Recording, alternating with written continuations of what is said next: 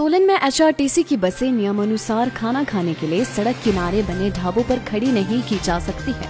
चालकों को ये आदेश दिए गए थे कि वह केवल पर्यटन विभाग के होटलों पर ही खड़े हो सकते हैं। ये नियम इसलिए बनाए गए थे ताकि पर्यटन विभाग के होटल भी लाभ कमा सके और ग्राहकों को भी खाने के लिए उचित दामों में अच्छा खाना मिल सके और उनके साथ खाने के नाम पर लूट खसूट न हो। सख्त नियमों के होने के बावजूद भी आज भी एचआरटीसी के चालक और परिचालक नियमों को ठेंगा दिखाते हुए अपनी बसों को ना जाने किस लालच में निजी ढाबों पर ही खड़ी कर रहे हैं। आज भी सोलन के सनवारा के ढाबे पर बसें रुकी होती है और जब चालक से इस बारे में पूछा गया तो उन्होंने जो जवाब दिया, उसे सुनकर आप भी हैरान रह जाएँगे।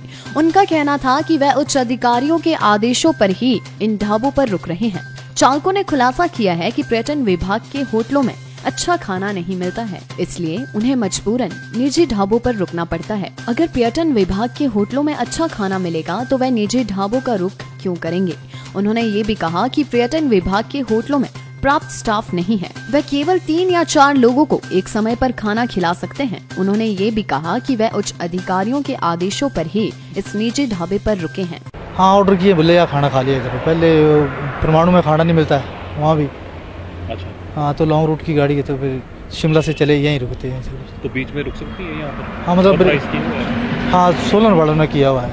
सोलन वालों वाले साहब ने बोला भी यहाँ खाना खा लिया करो। सॉरी टॉयलेट वगैरह जाने वाली भी होती है। अच्छा। तो खाना पेशाब शुरू जाना चाय पानी करने वाला होता है। इसके बाद चंडीगढ़ ही रुकते हैं। ये कब बोला आरएम साहब ने? पहले बिल्कुल बंद किया था तो नहीं रुकते थे यहाँ कोई भी।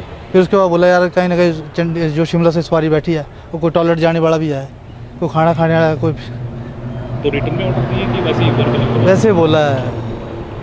वैसे आपको पता है कि जो बसेस है बीच में नहीं रुक सकती? नहीं, बीच में तो अब एक जगह तो कहीं खाना तो खाना पड़ना सर टॉयलेट वगैरह कोई चाय पानी वाला कोई बीड़ी सिगरेट वाला।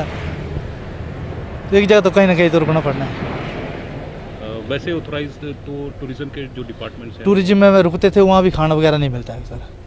पहले था नीचे बंद कर दिया उन्होंने। और दो चार आदमी गए एक दो आदमी खा सकते बाकी मुश्किल होता था सवारियों को दिक्कत आती है? है? सवारियों को दिक्कत आती है? हाँ सवारियों को दिक्कत है। टाइम्स टीवी के लिए सोलन ब्यूरो की रिपोर्ट।